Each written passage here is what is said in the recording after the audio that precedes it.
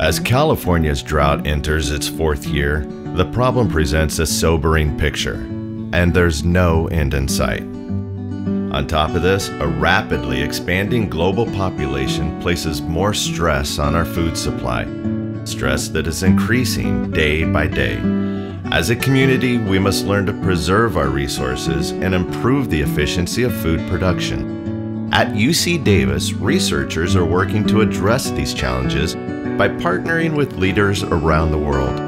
One of those researchers, Tom Shapland, has helped develop a way to aid farmers with irrigation management. Through the use of field sensors, he can tell growers precisely how much water their crops use on a daily basis, reducing waste and maximizing yields.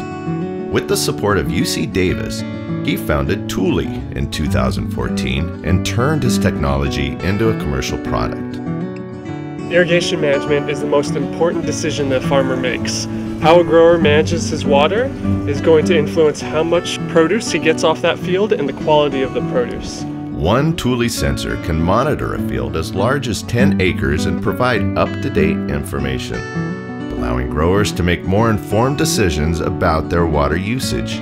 Our technology tells growers how stressed their field is, how much water all the plants in their field are using, so we can tell them a recommendation about how much water to apply back to that field. As one of 14 companies launched in 2014 based on technology from the university, Tule is poised to have a global impact in agriculture at just the right time. Such progress is why UC Davis continues to be recognized worldwide for its leadership in research and innovation.